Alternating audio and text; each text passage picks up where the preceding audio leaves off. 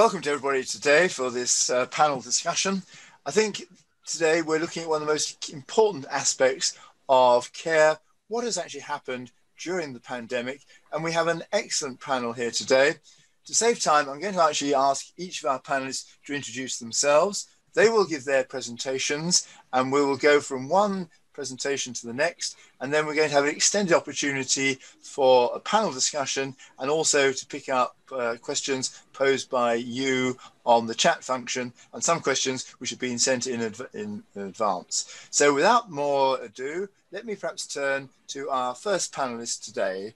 Can I ask you to introduce yourself and we'll start our panel presentations. Thank you. Kia ora. My name is Lyneta Russell and I am the Principal Advisor Services and Standards with Alzheimer's New Zealand. Um, co-presenting with me today is Kathy Peri and Kathy is the Director of the Dementia Learning Centre.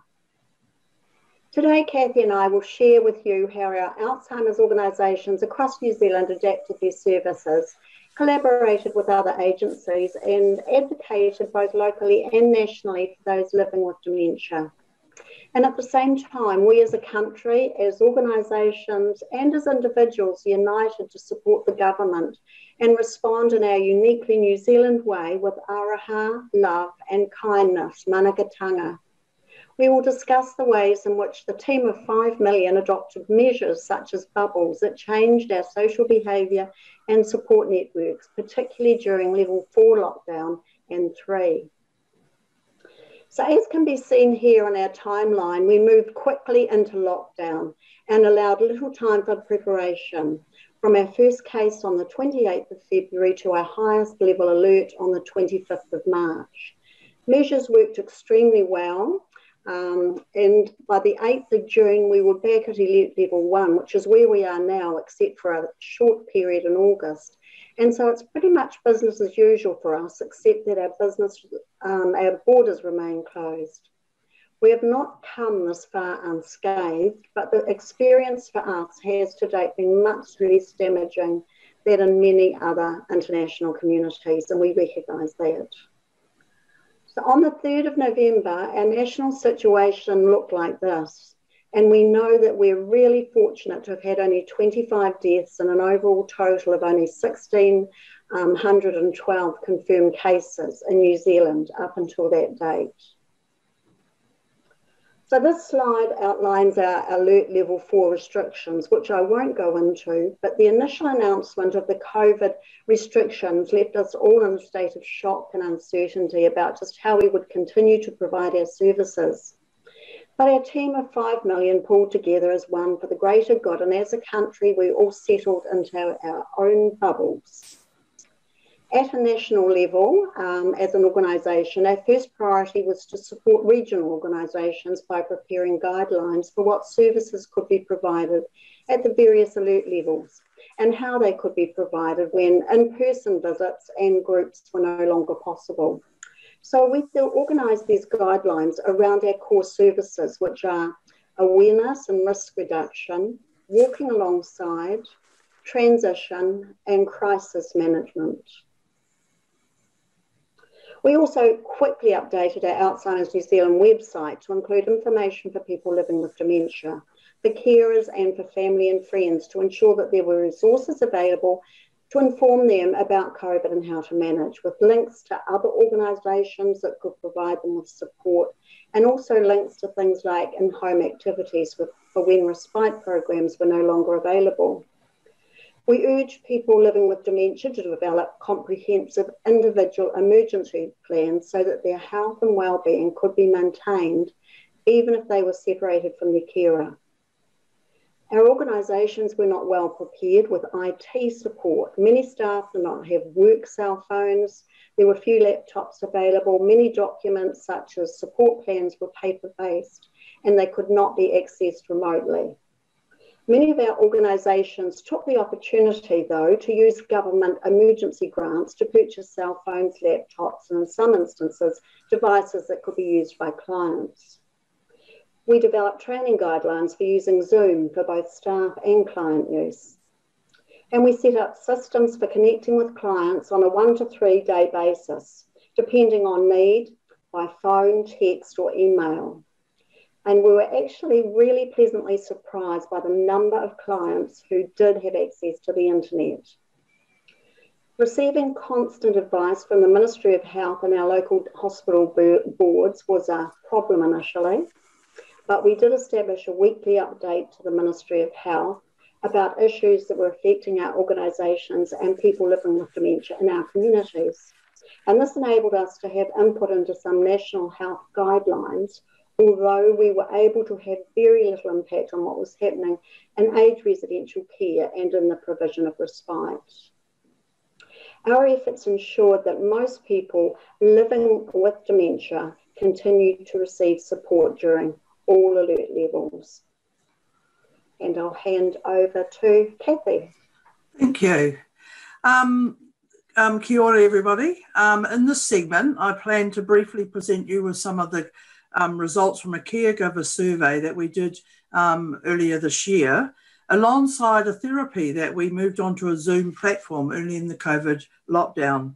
The survey report, um, which was conducted in, um, in May um, and over a week, we actually managed to get a very good sample of over 676 carers and this survey actually we um, borrowed um, from uh, the UK, and their survey is called the Behind Closed Doors COVID 19 survey. I'm sure some of you will be aware of that, which was conducted in a month earlier than ours.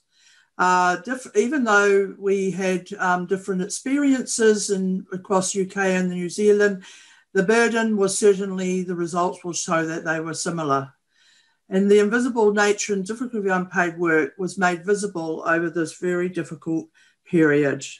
Um, and we will just next slide, please. This shows um, the spread of the survey participants, and we had a lovely spread. So the North Island actually um, has a majority of our population, and the three pie graphs on this side of the blue, orange, and grey and we had a lovely spread in the South Island of 33%. So that was a good spread across New Zealand and gave us a good indication of what carer um, problems and issues were during the COVID. Next slide, please. No surprises, um, of course, um, just like in, internationally, 90% of our survey participants were female, and with only 8% male and 2% didn't state their age. Over 44%, just over under 50%, were over the age of 65, and 9% of those were over 85. Uh, the length of caregiving was um, quite in- interesting, and we had a, over 35% of the sample were caregivers for more than 15 years. We were not actually able to extrapolate in this um, survey who were actually caring for people with uh, diagnosis of dementia. Um, next slide, please. So, what did the key messages from the carers provided us with? Well, 64% of carers um, needed to provide more care during lockdown. 51% stated this was because the services were reduced or closed. So, there was a sudden halt, um, as there probably was internationally, in respite care, household support services, support worker visits, and other help except for very uh, essential community sports. Carers had to step up and fill the gaps that this workforce shortage was um, and services were stopped almost overnight. It was a steep learning curve, as you can see from these results, um, for all of those that were involved with care, caring activities. And one of the significant here was um, in this um, table is the 66% who were concerned about not being able to continue the caring role. And they articulated that in their narratives as if they were worried about if they were going to actually get COVID themselves.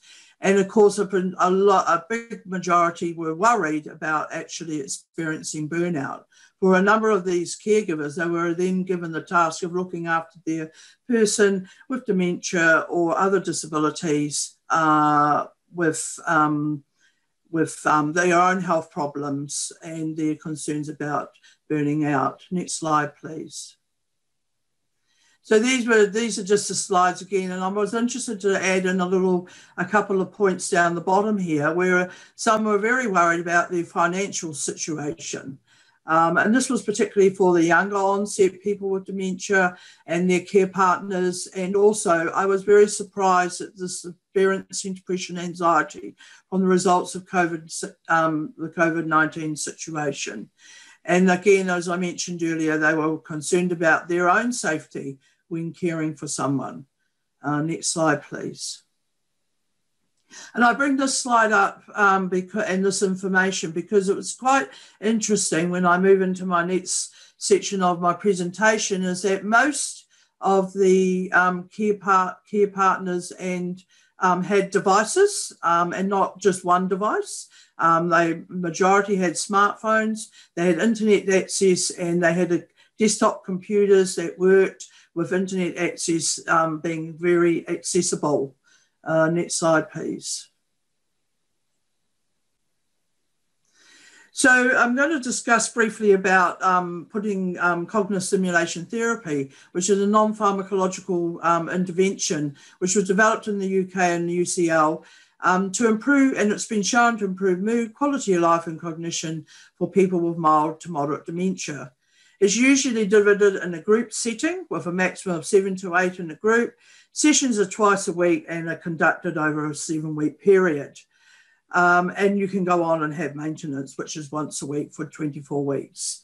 And in the um, CST, it's been successfully been conducted in both community and residential care settings.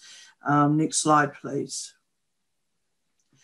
We were approached, um, myself and Dr. Gary Cheung are the international CST uh, trainers and master trainers here in New Zealand. And we have been providing um, training facilitators for a number of years now. Uh, and so we had good connections with um, our C- CST facilitators around New Zealand. We were approached by um, all these organisations down below, participating organisations, Dementia Auckland, some of these are private, some of these are um, aged care facilities, who are wanting to continue conducting their cognitive stimulation therapy programs, but wondering if it was possible to be de- delivered in a virtual format. Uh, next slide, please. So we developed a community of practice. And in the community of practice, we were able to test um, all sorts of um, uh, uh, issues like the technical and getting online, um, how important the role of the co facilitator was, um, what benefits that the um, uh, participants were receiving, um, whether they were going to be the same or not as um, our group um, activity, and how we could adapt sessions and content. And this continued over a period of um, five to six weeks while we continue to be in lockdown. Unfortunately, since we've come out of lockdown, the VCST um, community of practice has actually gone back to being delivered in a group setting. Uh, next slide, please. I'll hand back to Lyneta, who will um, um, give our concluding comments. So currently in level one, we are able to provide in-person services. We're providing day respite support groups, education, awareness raising um, activities. And for most of our organisations, we're really back to um, what we were providing pre alert levels. But we need to remain flexible and agile. We see the potential for the learnings from our experiences to be used to address some other issues that we face that are not really related to the COVID 19 situation. So we see lots of potential to use our learnings to extend our reach to more people living with dementia, as current estimates are that we're only reaching about 20 to 30% of them. The reach can be extended by accessing people in more isolated locations by using IT. Virtual contacts can also mean that um, we spend less time travelling, so allowing staff resources to be used to access more people living with dementia. Many um, clients prefer virtual visits because they don't have to travel to the appointment. They can still be with the person they are supporting and they don't have to find car parks. IT use can also support easier connecting within our communities, especially between health and community agencies. And we see potential in how our new IT skills can be used for building our own capability For example, a staff education program provided in one organisation could be attended virtually by staff in another organisation without the need for travel, or for a support group to have people attending from across the country. The options have yet to be fully explored. But the challenge really is for us to learn from the experience so that we're prepared for future events that test our ability to provide services and at the same time strengthening support for care partners to ensure that they receive good information and respite to continue in their work despite what is happening. Um, and that's our story. Thank you for the opportunity. Well, Anita and Kathy, can I thank you both very much indeed for sharing your experience. I think we've all been very impressed across the world as to how New Zealand as a country has responded to the challenges of the COVID 19 pandemic. And I think, in particular, you've shared with us great experiences for how you've looked after people in New Zealand. And I think also, in, in particular, the learnings which you've brought out from mm. this um, I think that a lot of things which we'll pick up there in the wider panel discussion, I'm sure, but particularly for me, I was concerned, I think we all are, about the references to burnout and mm. as people then move mm. forward, how you will sustain people. Hopefully, now you've gone back to a phase one lockdown and you won't face a second wave as we're facing in many parts of Europe and in the Americas. But I think you've got a lot to teach us. So I think we'll store those questions for the next session, if we may. Thank you. So with that, I think we'll now move on to our next presentation. If I could ask that to take forward. I've actually been rather remiss. I should also introduce myself. I'm David Jefferys, the Global Senior Vice President in Eisai, and also have the honour of chairing the uh, EFPIA, the European AD platform. So strictly pleasure to be invited to uh, host and chair the session today. So with that, can I move on to our next presentation from Emiliano, if you would like to give that to us? Thank you. Yes.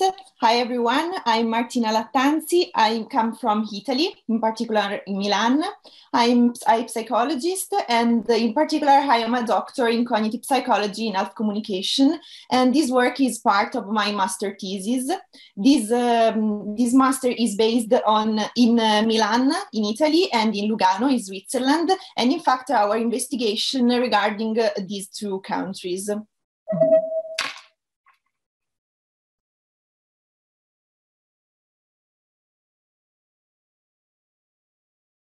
Uh, we can say that there are more than 47 millions of people with dementia worldwide, and that the case is set to almost triple by, by 2050. Here I reported also some data about the context where the research took place. In particular, there are 1 million of dementia patients that live in Italy, and in Switzerland, there are about 151,000 of people with dementia. The data in the literature shows that 80% of people affected by dementia are cared for at home by family members, and that the burden of care is almost entirely borne by the family unit itself. The COVID 19 pandemic has a disproportional high impact on vulnerable groups, such as dementia patients and caregivers. Further, COVID 19 has caused sudden closures of social care and support services, key to support carers. In particular, in Italy, SARS-CoV-2 outbreak was catastrophic with more than 800,000 confirmed cases. And in Switzerland, the pandemic presents more than 200,000 confirmed cases. Worldwide, there have been more than 50 million cases or, of SARS-CoV-2 and about 6,500 cases for every million people on average. Instead, we can see here that Italy and Switzerland are two of the countries most affected by the pandemic, with more than 15 and more than 24,000 cases per million inhabitants, respectively. In this context, our research starts. After obtaining the nihil obstat from both the ethics committee of Italian and, Swiss and Switzerland, um, we distributed a cross-sectional survey via social network page pages of caregivers and daycare centers. The questionnaire consisted of five parts. The first in which we asked the participants for informed consent. Then we insert socio-demographic questions. Then we decided to insert the entire Zarit burden interview, being one of the most reliable tools to measure the burden of dementia caregivers due to its high internal consistency and good test-retest reliability. Then we decided to insert the DASS scale to measure variables such as depression, anxiety, and stress. We decided to insert the version of uh, 21 items. And finally, uh, we decided to insert also the short version of the UCLA loneliness scale to measure the construct of loneliness. The sample of respondents is made up of more than 600 subjects, of which 571 complete the questionnaire, with a mean age of 53 years old. The majority of the sample is made up of women, as we expected. We distributed the survey in the entire Italy and in uh, only in the Swiss canton of Ticino for linguistic reason, and uh, 425 Italian subjects and 146 Ticino subjects response to our questionnaire, and this reflects the distribution of the population in the two countries. Uh, the majority of our caregiver sample takes care of one family member affected by Alzheimer's disease, and this reflects the distribution of type of dementia worldwide. Here I report other characteristics of the sample, such as the level of education and employment. And we can see that our sample is quite well distributed about the, the level of education and also about the employment. In fact, about half of our sample, our sample has an employment and uh, mm, most of them have a full-time job. Regarding the relationship between the caregiver and his family member, we note that the majority of our sample takes care of one or both parents. Coming to the results, here we can see the distribution of the sample in the Zarit class, and we observe that the majority of our sample declare severe burden, unfortunately, unfortunately we can say, and only 3% of them have little burden or the absence of it. We collect this data during May and June of the current year, months characterized by the pandemic situation. Obviously, this is not a longitudinal study because we have no data collected uh, about in, um, in the same territory, but we can compare this data with previous one present in the literature that are collected in the Italian context. And we can observe a significant difference between the Zarit score from the pre-COVID situation to the current one with a significant increase in the level of burden. For a more detailed analysis, we also carry out an investigation on the influence of socio-demographic variables on burden levels. And we realize, for example, that there is a higher burden in Switzerland than in Italy. Also, we can observe that the level of education have an influence on the level of on the level of burden. In fact, decreasing burden, we, we observe decreasing burden with the increasing of a level of education. And finally, we observe greater burden in spouses than children, and um, which does not depend solely on increasing of age. The results of the DASS21 scale presents a little different situation with regard to constructs such as depression, anxiety, and stress. In fact, respectively, we can observe a moderate level of depression and mild level of anxiety and stress is data during May and June of the current year, months characterized by the pandemic situation. Obviously, this is not a longitudinal study, but we can compare this data with previous one present in the literature, and we can observe a significant difference between the Zarit score from the pre-COVID situation in the same Italian context to the current one, with a significant increase in the level of burden. For a more detailed analysis, we also carry out an, an investigation on the influence of socio-demographic variables on burden levels. And we realize, for example, that there is a higher burden in Switzerland than in Italy. And also that with an increase in the level of education, there is a decrease in burden and finally, also that the group of spouses caregiver have a greater burden than the children group, which is uh, does not depend solely solely on increasing of age. The results of the DASS 21 scale present a a little different situation with regard to constructs such as depression, anxiety, and stress. In fact, respectively, we can observe moderate level of depression and mild levels of anxiety and stress. Finally, the results of the UCLA loneliness scale show that 60% of our sample has often perceived a feeling of loneliness in the last months, characterized by the spread of the COVID-19 pandemic. Comparing our data with data previously collected in the same context in a study by Evans and colleagues, we have an increase of the feeling of loneliness. In fact, most caregivers, caregivers reported discomfort related to the intensified social isolation and efforts to maintain social dis distancing. And here we can observe the difference in means. So to conclude, the COVID-19 pandemic aggravated the condition of social isolation and burden of informal dementia caregivers, and the lockdown condition resulted in social support services being closed down on or severely restricted. So the community health services should adapt to the needs of informal caregivers and people with dementia. And online trainings and psychosocial intervention for informal caregivers should be made, made available promptly to respond to the needs of informal caregivers. And that's it. Thank you for the attention and for the opportunity. At the end, I would like to thank you, my supervisor, my, my co-supervisors, since uh, this is part of my master thesis work.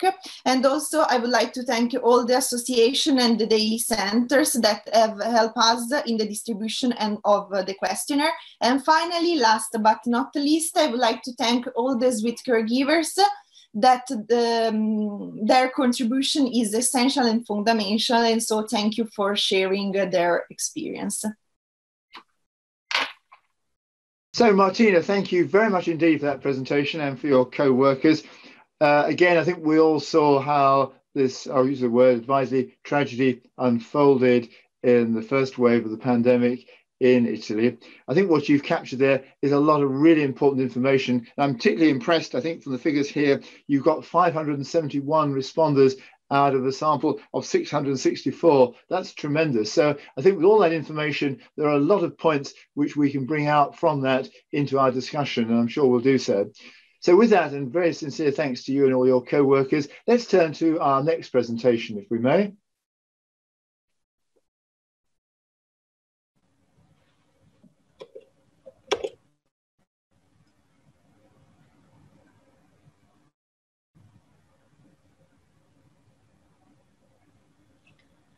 Okay, thank you, David. And hello, everyone. I'm Bel from the Jockey Club Center for Positive Aging.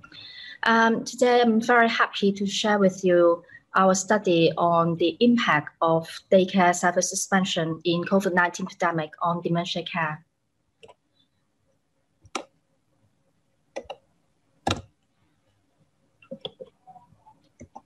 Okay. So um, Jockey Club Center for Positive Aging is the first comprehensive dementia service center in Hong Kong. And this year we are 20 years old.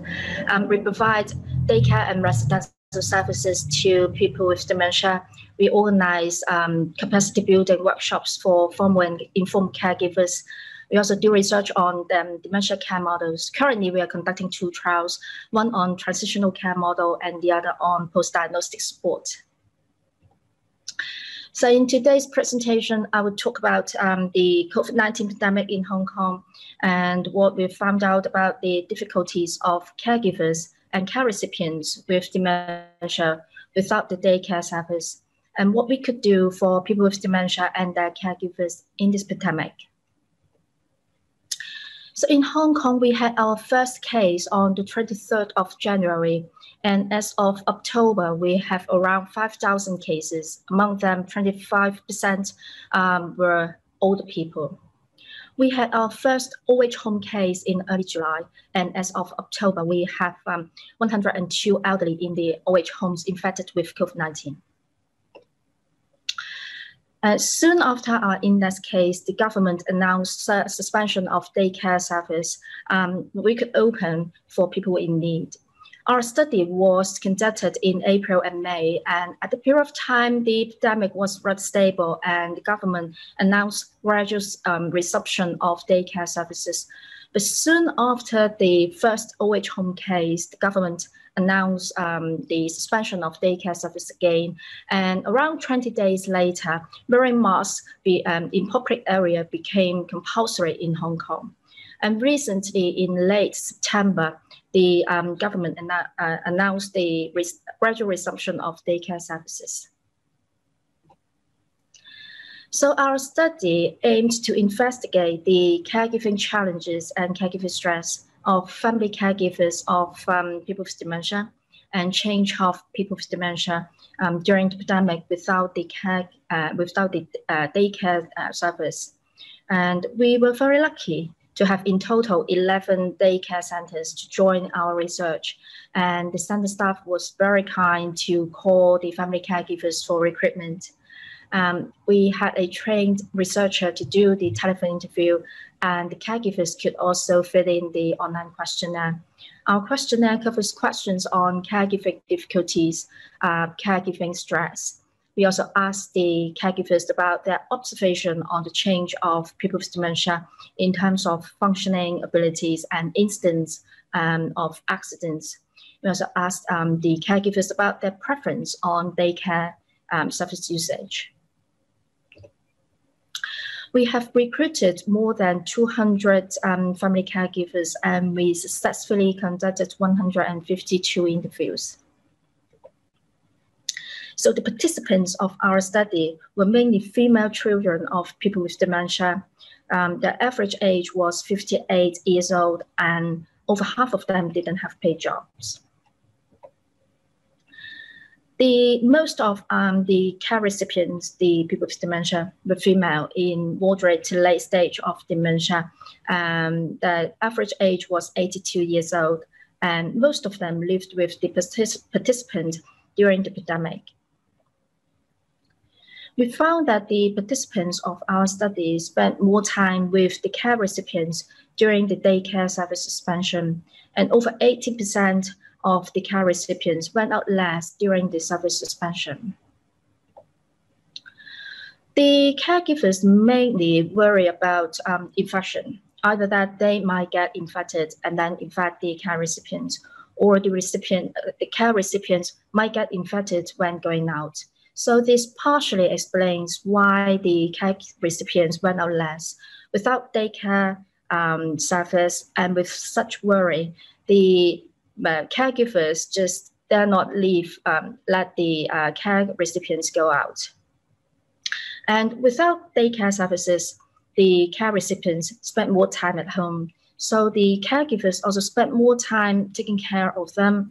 And as a result, they had less time for their own living.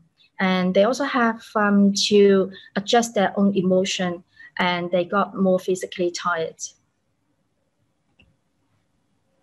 So most um, participants encounter greater caregiving stress during the daycare service suspension, and the odds of increased caregiving stress were associated with an increase in caregivers' age um, because it's more difficult for older caregivers to seek resources such as face masks.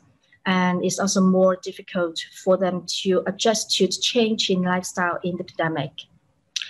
The odds of increased um, caregiving stress were also associated with um, the deteriorated mood of care recipients.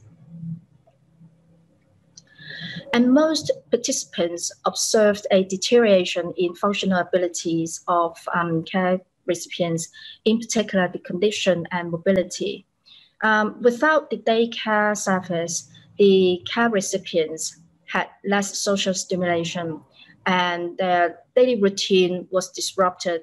They may just spend their daytime watching TV or sleeping, and this might adversely affect their cognitive functioning. Also, they went out less, and they were not likely to have enough physical exercise at home, so their mobility would also be adversely affected by this social distancing measure. Um, close to 20% of our participants said that the care recipients um, had accidents or injuries such as fall um, or hospital admission or home accident during daycare service suspension. Well, among them, more than a half actually didn't have such accidents or injuries when they had daycare service. Close to 40% of our participants um, prefer to have daycare service during the uh, pandemic because they worried about uh, the deterioration of the care recipients. Um, also, daycare service was actually a main respite channel for them. For those who prefer suspension of um, the service, uh, again, infection was their main concern. When care recipients prefer to go outdoors, the caregivers tended to prefer continuation of daycare services because for them, daycare service might be a safer choice than other places for the care recipients if they had to go out. And when the care recipients were older, the caregivers tended to prefer suspension of service because um, maybe because of their worry about the infection with the perception that old people are more vulnerable to um, COVID-19 infection. So when there is no foreseeable end of epidemic, our center started to provide one-off um, training to both people with dementia and their caregivers. We also started a pilot on a 14 session online cognitive training for people with mild cognitive impairment and people in early stage of dementia. And in this intervention, the social worker delivered on cognitive training through Zoom. And the clients, the participants, and the social worker would do physical exercise together. And they also have time to discuss about the difficulties in life during the pandemic as peer support. So far, we got a very good attendance rate. And we found that people with mild cognitive impairment could basically handle the sessions all by themselves while people with dementia may need some technical support from the caregivers. So in the future, we'll have more groups as service, and we'll also start the trial to further investigate the effectiveness of this intervention. So um, the take-home messages of the of my presentation are: without daycare service, Family caregivers of people with dementia experience greater caregiving stress because of longer caregiving time, um, and people with dementia had um, have deterioration in functional abilities. So we recommend daycare service for people with dementia to continue during the pandemic, while the centers have to implement stringent infection control measures. And online cognitive training is feasible for people with, people with dementia, and it should be further developed so that people with dementia could have a good alternative to maintain their social stimulation in the era of pandemic and um, in the era of social distancing. Um, I would like to thank this organization and my colleague Toby for their help and support in this study. So this is the end of my presentation, and this is my contact in case you have um, questions about our studies. And you are very, uh, very welcome to um, visit our website. So um, thank you very much, and I wish you all peace and health. Well, Bel, thank you very much indeed, and for your co-workers. That was an excellent presentation. I think once again, you've shown us the huge impact which the COVID-19 pandemic has had on sufferers, those receiving care, and on the carers themselves. And I think you've so clearly documented the impact of the closure of the day centres. Again, I think there are positive messages in there. You've shown how it was possible to continue giving support and indeed for the future how cognitive support can be given and continue to be given. So thank you for all you've done on there and for sharing that with us. I think, again, we've got a number of key messages. I think what we'll want to do is to get some questions around what actually has happened, but more importantly, those key messages for the future, how we can build those. I think particularly for those parts of the world suffering now with the second wave, that's really important what we can learn from you. So let's then move on in our journey, if we may, into our next presentation. Hello, everyone. Uh, I'm Jayeeta, and I'm an early career researcher for the Strengthening Responses to Dementia in Developing Countries project, also known as STRIDE, at the National Institute of Mental Health and Neurosciences in India. And today I'll be sharing with you a study we conducted here at NIMHANS exploring the experiences of family caregivers of persons with dementia during the COVID-19 pandemic here in India. So India currently has a population of 1.3 billion and almost 10% of that population comprises individuals aged 60 and above. And this is expected to rise to almost 19% by 2050 we have currently 5.29 million people living with dementia in the country, and these numbers are expected to almost triple by 2050. And despite the rising numbers of people with dementia in the country, only 10% of people with dementia receive any diagnosis, treatment, or care. And in the light of the limited evidence available on dementia and COVID 19, we were really keen to understand the impact of the pandemic on caregivers and people with dementia in the country. So at the time in which we collected data, which was between mid-May and June end, the COVID cases were rising considerably. At the start of our data collection period uh, in mid-May, we had around 80,000 COVID cases in the country. And by the end of our data collection period in June end, we had almost 470,000 COVID cases in the country. And at the time, the health ministry had done an age wise analysis of the populations that were most affected. And they found that uh, elderly uh, contributed to almost 50.5% of all deaths, and people with comorbidities contributed to almost 73% of all confirmed deaths. So, multiple measures were taken to contain the pandemic we had a nationwide lockdown that was announced on March 24th and went up till March 31st. I'm sorry, May 31st. And this was, of course, with phased relaxations.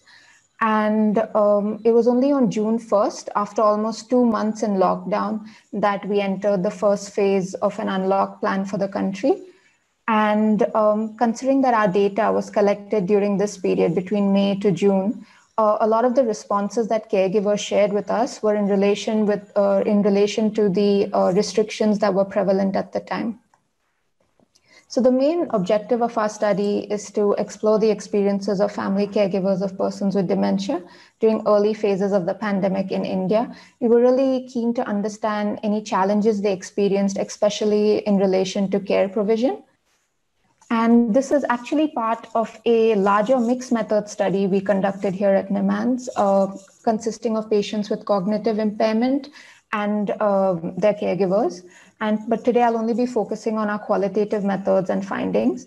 So from 152 patients that we contacted for the mixed method study, 106 caregivers of patients with cognitive impairment participated in our qualitative interviews and they were recruited via the Cognitive Disorders Clinic Registry at NIMHANS and Asha Hospital in partnership with the Alzheimer's Related Disorders Society, Hyderabad. So the data collection took place in two cities. That was in Hyderabad and Bangalore. Both are in South India. And uh, we contacted participants via telephone. Uh, after receiving their verbal consent, we conducted the interviews.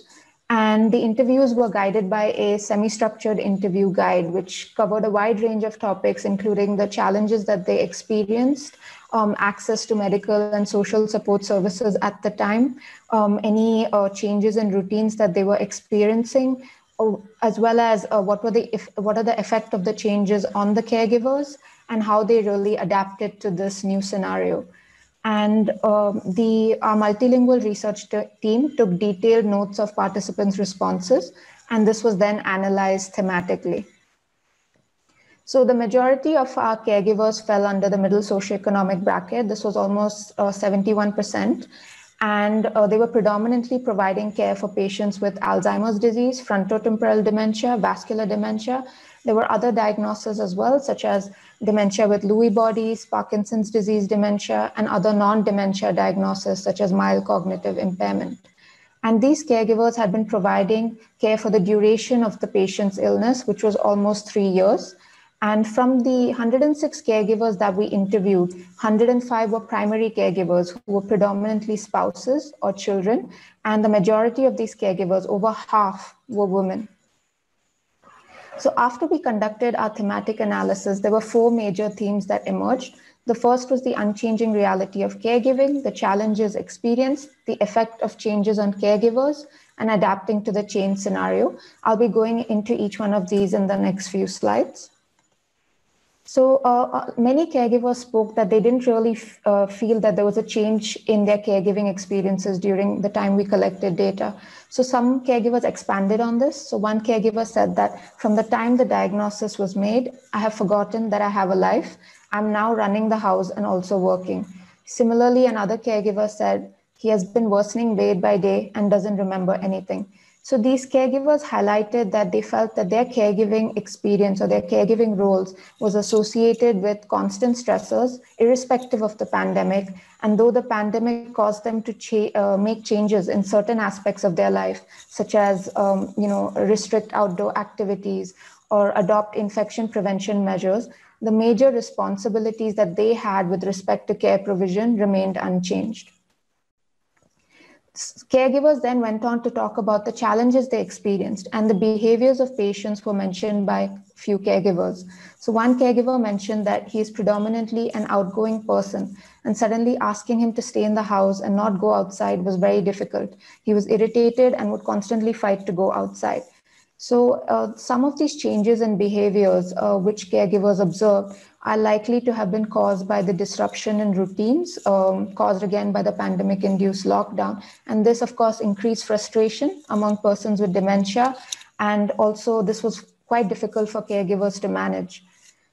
So, caregivers also spoke about difficulties in accessing medical and social care related services.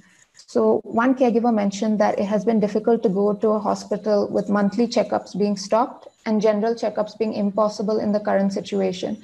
Similarly, another caregiver spoke about difficulties in accessing long term care support services such as daycare, because at that time they were suspended and they are still not running, but they were suspended. So uh, caregivers had to find new ways to engage their relative with dementia. And this was again quite stressful. So, as mentioned earlier, many caregivers felt that there was no real change in the pandemic with, relate, with relation to their caregiving role. But for some caregivers, the pandemic aggravated an already difficult situation. So, one caregiver mentioned that I feel a sense of isolation and a lack of support. And honestly, I'm think I'm out of words to even explain my situation. Similarly, another caregiver spoke about the lack of socialization at that time, really heightening feelings of loneliness and isolation. So, despite the multiple difficulties that caregivers faced, uh, they still adapted a number of measures to uh, uh, to kind of adjust to the new scenario. And first is the majority of caregivers adopted some form of infection prevention measures, wearing masks, hand washing, social distancing. Though a few caregivers mentioned that this was really difficult to enforce on the person with dementia, as they couldn't really understand the need for such members, uh, need for such measures, or remember the need for such measures. Caregivers also spoke about uh, changes in roles and responsibilities in their households during the lockdown period. So few caregivers mentioned that they were now able to spend more time with their relative on activities of daily living than prior to the lockdown. But they also mentioned difficulties in juggling their new work from home situation with their care provision responsibilities. Lastly, caregivers spoke about their plans for post lockdown. While the majority of caregivers said that they would continue to maintain infection prevention measures, there was a lot of eagerness to return back to outdoor activities, including daycare, um, socialization, going for walks, visiting temples, etc. So, our, in conclusion, um, caring for persons with dementia is complex even during normal periods. And a public health emergency such as the COVID 19 pandemic has only aggravated the difficulties for some caregivers and also highlighted gaps in our health and social care system, which needs to be further addressed in order to improve our response to the pandemic uh, improve our response to the pandemic and reduce the impact on vulnerable populations, as well as improve our responses to future such emergencies. So, as majority of the dementia care is provided by families in their in, at their homes in the Indian context, there's an urgent need for more strategies and services to be developed that can support caregivers at their own homes, in addition to care being provided at institutional settings. So, a multidisciplinary approach involving um, social, medical, public health policy spheres is required to meet caregiver needs as well as um, reframe existing models of dementia care services in the country. Um, that's all from me. Thank you uh, very much. Uh, I would like to thank NIMHANS, uh, Asha Hospital, the Alzheimer's Related Disorder Society of India, and the Strengthening Responses to Dementia in Developing Countries project, as well as I would like to thank all the caregivers who really took out the time to share their experiences with us. Thank you. Well, Jayeeta, can I thank you very much indeed and your co-workers. Again, an excellent presentation for us. I think, once again, there are common themes here. I think you've shown very much the isolation which carers felt, uh, the very considerable increase in pressures on them, but equally that for some they did have perhaps more time to to care uh, when during the lockdown. But I think the last message there about building the strategies to move forward is very important. So again, I think it's great that each of the presenters has brought out some take-home messages and usually around three points which we can take forward in our panel discussion. And I'm sure we'll do so. So with that, let us move on then, if I may, to our next presentation. Thank you. So Agnes, would you like to uh, start this for us? Um, yeah. Uh, Julia, I think, isn't it? Yes. Sorry, it's both of us. Both of us, right. Is Agnes there? Yes. Yes. Hello. Can you hear me? Yes. Yeah. Yes. Thank you. So thank you very much indeed for giving us the opportunity to present our work today. We are going to be talking about getting on with life in the midst of a pandemic and the development and evaluation of the online GO programme. And this is a collaboration between Durham University, University of Edinburgh and Innovations in Dementia. The project lead is, is Professor Charlotte Clarke, my name is Julie Watson. I'm a Research Fellow at Edinburgh University and Project Manager, and I'm be presenting today with my colleague Agnes, who will introduce herself. Hi, everybody. My name is Agnes. 15 years ago, at the age of 57, I was diagnosed with dementia of the Alzheimer's type. Since then, I became a Knowledge Exchange Fellow of Edinburgh University and have been part of the GO project since the beginning. Thanks, Agnes. So just a, a, brief overview of the talk today. I'll tell you a little bit about the project that we've been doing and then how we've had to pivot from face to face delivery to online delivery due to the COVID 19 restrictions, and then just some of the learning that we have got so far from doing that. Agnes? We set out to, to develop and test in collaboration with people living with dementia a seven week programme of post diagnostic support. This programme was developed to help people currently not accessing support to live as well as they can with their dementia. And there was another strand to the project as well, which was is to try is to try and understand how people move around the system post diagnosis, and we're um, interviewing professionals as part of that, but we're not going to talk about that bit today. So what we did in the first phase, which was last year from February 2019 till October 2019, is that we ran nine workshops with people living with dementia. 23 of them had a diagnosis, and then we had 13 care partners. And we also did 11 telephone interviews with people working with people with dementia. And what we found in that first phase, what people were telling us as we were asking them, how, how do we develop a program um, what should be in it. One of the, the important things that came out of that was the importance of the underpinning principles and values in the approach to the facilitation. So, some vital ingredients there, which Agnes will speak about.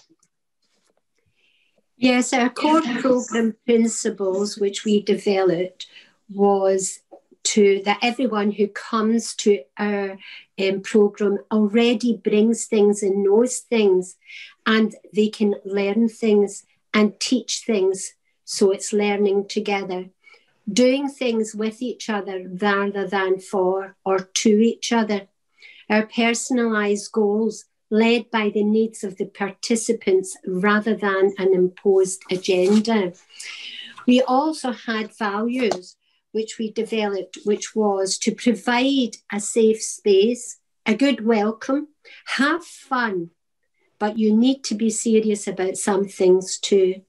Some people might come along on the day and be sad or angry and grieving for the things that they have lost and they need to be able to express this or not if they wish. Let's be flexible here. Everyone helps each other. We also wanted to provide a respectful space. So please don't treat people like children. Don't talk over the people. You've got dementia, but you've got a life to live. Friendliness and being accepted as you are are the most important things. So, no judgment. Sessions need to run in a way that enables everyone to contribute verbally and other ways appropriate to individual abilities. Give us time to talk and ask questions. And so, in this first phase of, of consultation with people living with dementia, we came up with um, a seven week programme. And these are some of the overarching themes that we cover each week. So, like we just said, the first week, it's really important to create that welcome and safe space for people to feel comfortable um, and feel that they can um, be supported to take part as well as they can. Week two is understanding my dementia experience. So, encouraging people to come with their questions, the experiences that they are having, rather than us saying these are the these are all the symptoms you're going to have, and this is what it's going to be like. It's it's very much led by the people um, who are coming and shaped by their needs. And then week three is about confidence to live well with dementia confidence was a, a, big issue that came up a lot that people when they get a diagnosis of dementia they lose confidence and so building confidence is a, is a big part of this program and helping people to live hopefully then looking at our needs and our rights. Many people with dementia don't know what their rights are in relation to living with dementia on all kinds of topics. And then staying connected one of the things that came out of the first phase was that one of the biggest challenges is that um, people start to get treated differently as soon as they get a diagnosis of dementia. The families and friends maybe withdraw. Um, so staying connected is about looking at how do you how do you maintain and you know make new friendships as well. And then week six is getting on and living your life, and that um, I've put down at the bottom here a plan for week eight this was something that came out of the first phase as well is that it's all very well having a seven week program but what happens on the week that it finishes in other words week eight when the, the program's not running so a big part of this um, program is looking at how do we connect people into other things once the program finishes and then week seven is celebrating achievements and very much um, looking at all the things, all the strategies that and the hints and the tips that people have learned from each other in that peer support and celebrating that as a way again of building confidence. So and then so phase that was phase one and then phase two the plan was that started in november 2019 and was to run until december this year and our aim was to test and further develop the program face to face in four regions in the northeast of England. And we had ethical approval to do that, and we were about to start recruiting back in March when, of course, as we all know, um, COVID arrived and everything was shut down, and we weren't allowed to do anything face to face. So the research was halted um, for a few months, but um, we realized actually there was a real opportunity here. And I think from what the other speakers have been saying, we can see the real impact that uh, not only COVID itself has had on people with dementia and their families, but the, the effect of lockdown and the effect of isolation is very detrimental. So we realized that there was an opportunity here to look at how can we continue to deliver this program, but not face to face. So thankfully, the Alzheimer's Society, who are funding this project, gave us a no cost extension. And so now we're up and running again. Yes, but to be up and running, this meant that we needed to develop different skills and use different techniques, some digital and others the old fashioned way. So we started to use Zoom and also we found that not all of the participants were able to or comfortable using digital. So we went back to the old fashioned method of using postal and also making phone calls. This was always participant needs led. It was up to the participants to say what they wanted, and the team went out their way to provide the needs.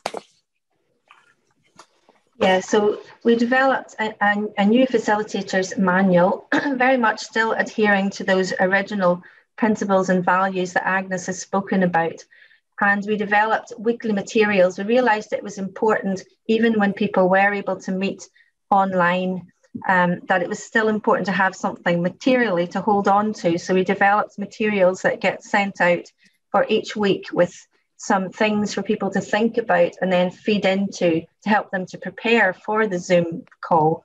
And we also sent everyone a mug because we, we that sense of togetherness and being in community was really important as well for us. So everyone got a mug that they drink from when they're on the Zoom call. And so so far, um, where we're at is that we have run the program once in one area and we are on week three in the second area and it's going to run twice more in the new year in other areas. And so the new learning that we've had so far, um, the time there is a real time investment needed in preparing people to join on week one. Part of that is around technology and making sure people have the right support to use technology, but also helping people to work out how they can contribute to the best of their ability, especially if they have issues like word finding um, issues, and also just to build trust and rapport with the facilitator.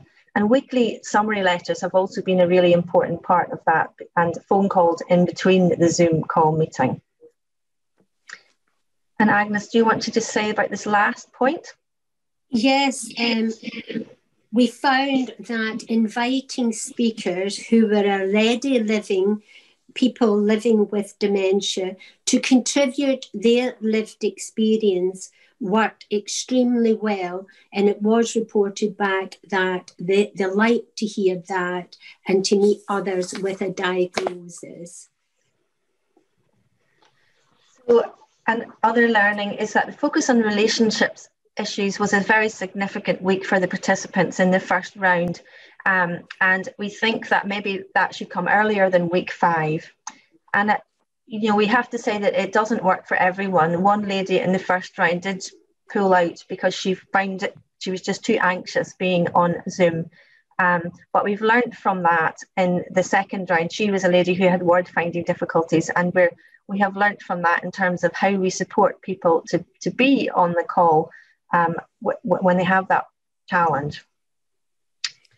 Yes, um, it's only right, right, I feel, or we as a team felt, to leave the last word to a person living with dementia. This gentleman, he said, the whole program was informative and made me feel at ease. It put my mind at rest that, that although this is a disease that is disabling, it is not something that is going to kill you immediately. It's a case of trying to live with it and embrace it. Every week, I have gained more confidence. So I would like on behalf of Julie and I to thank you all for listening to us and thank you all for your presentation. Thank you very much. Well, Julie and Agnes, can we thank you very much indeed for sharing that uh, presentation with us and your experience. I think that really, that quote at the end, that testimony says it all. I think you obviously entered the pandemic in a good phase because you were already planning for this. And I think that must have helped take things forward. I also noted the small but very important things you've done. I think you referred to having a mug available for people and also the importance of the telephone call. It's not all just about the iPad and the PC, the telephone call is also very important. So thank you very much indeed for that. So let us now come to our final presentation. I'm going to call on Emily to give that to us. Uh, and you are, you may be last, but by no means least. So really looking forward to your presentation. Thank you. Uh, hello, everyone. Um, so my name's Emily, and it's lovely to be here. And thank you for the opportunity to present highlights from our review study, which sought to understand the early impacts of COVID on care home residents living with dementia. Um, as we know, care homes are obviously important providers. Oh, sorry, Emily, uh, your slides are not on the screen at the moment. Ah, okay. Sorry, yeah. Uh, no worries, no worries. Um, hello, everyone. Um, my name's Emily, and it's lovely to be here. And thank you for the opportunity to present highlights from our review study, which sought to understand the early impacts of COVID on care home residents living with dementia. Um, care homes are obviously important providers of dementia care, where a significant proportion of residents may have some form of dementia. Uh, so here's our research team um, that undertook the review. Uh, so there's uh, myself, I'm a research fellow based at De Montfort University in Leicester. Um, there's Professor Kay de Vries, Professor of older people's health, also based at De Montfort, and um, Dr. Karen Harrison Denning, um, who has a role at De Montfort and is also um, head of research and publications at Dementia UK. So we had two main research aims in this review. Um, firstly, to understand the early and initial impacts of COVID on care home residents with dementia in real time as the pandemic was unfolding and to analyse how these impacts were communicated to the public. So, this included the experience of residents who sadly caught COVID, as well as those who were impacted as a result of COVID. So, for example, through wider system pressures or um, challenges with availability of healthcare. So, as I've said, this review aimed to understand the initial impacts of COVID in real time as events were unfolding. Um, and this is what we now understand as, as the first wave or the first peak of the pandemic. So, most of the information about early impacts on care home residents um, with dementia was available in um, the media and um, grey sources of information. Um, so as a result, it was necessary to appraise um, that literature that was being published in the moment within particular time parameters, um, particularly looking at, at journalist sources. So that required us to take quite a um, novel um, methodological approach with the research, um, which was qualitative media analysis and tracking discourse.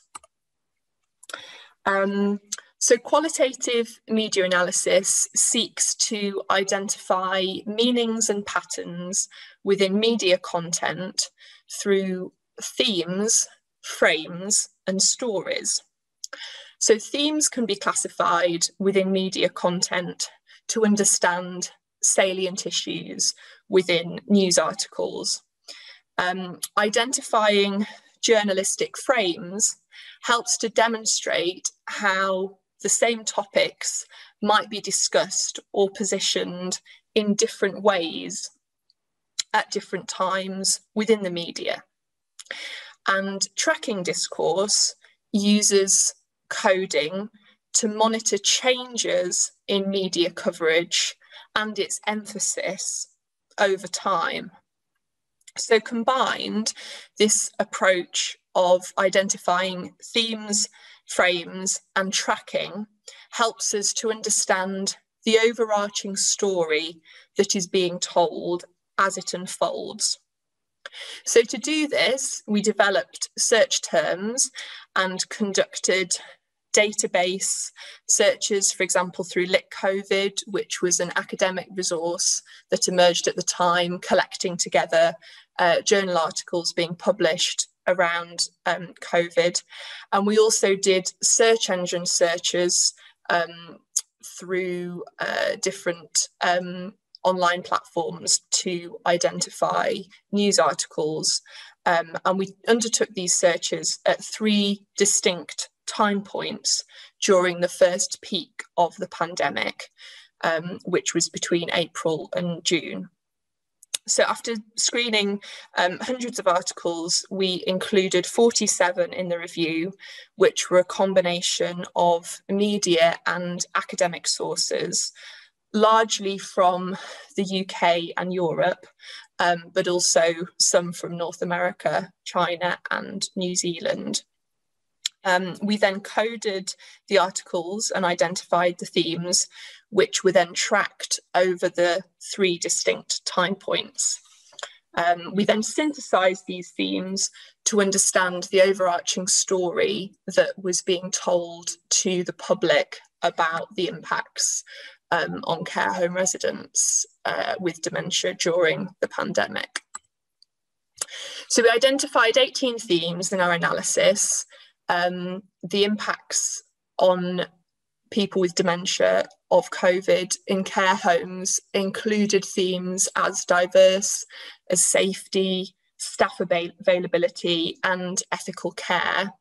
Um, I'll just talk about a few of these um, issues today, given the time available, um, but specifically themes relating to loneliness, isolation, and social distancing. So as I'm sure we're now sadly all too familiar with, um, there were some really heartbreaking um, examples during the first pandemic peak of people with dementia alone at the end of life in care homes. Many family visits were suspended to enable social distancing, and certain group care home activities um, were, were stopped. And these changes led to uh, experiences of um, loneliness and, and isolation. And it was a real challenge for staff to balance meeting the psychosocial needs of uh, residents with dementia in care homes with the need for virus safety, uh, particularly in the absence of government guidelines in, in the case of the UK. There were also some particular challenges to maintaining social distancing for people with dementia um, due to wandering. Um, and also memory problems meant that some residents forgot it was necessary to self-isolate or were understandably distressed by the sight of uh, personal protective equipment or PPE. However, um, the analysis of the articles also showed that these unprecedented circumstances led to some innovations in care delivery and certainly some incredible sacrifices from, from care staff.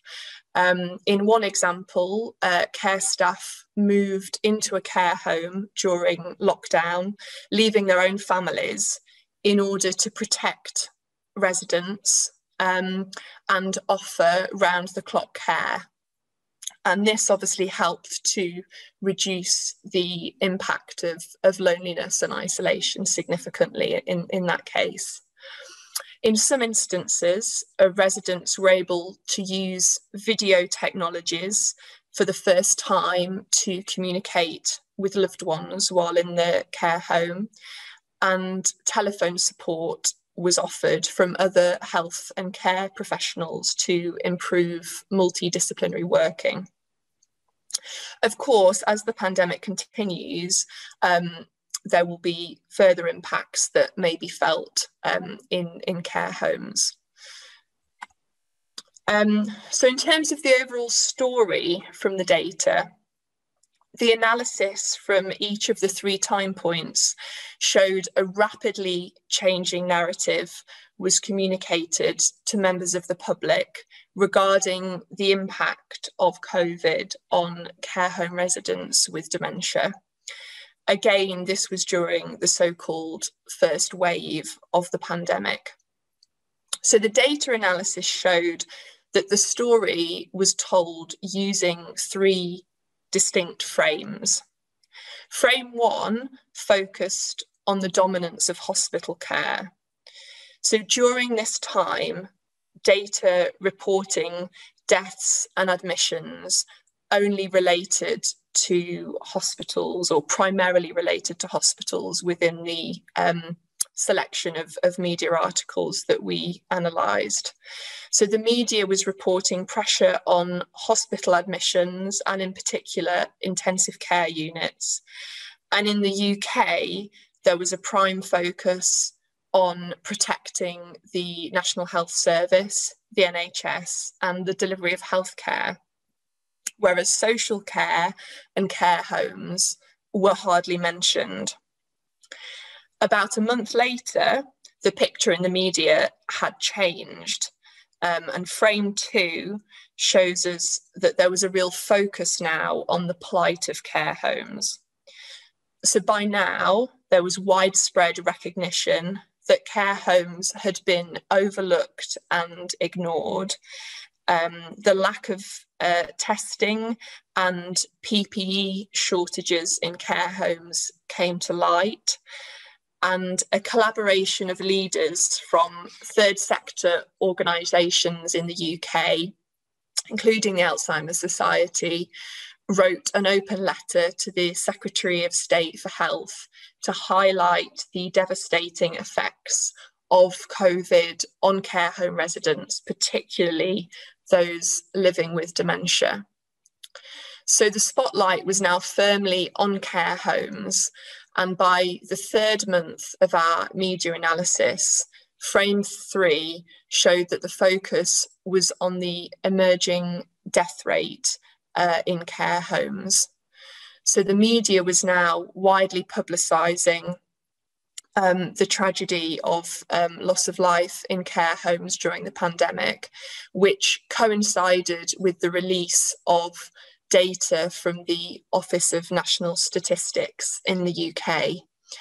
Some media articles by this stage were also producing analysis on how and why this tragedy could have occurred. It was also clear that decision makers, such as government officials, um, were to be held accountable for their handling of the pandemic so far within the media and there were calls for a public inquiry into the death rate in care homes in the UK.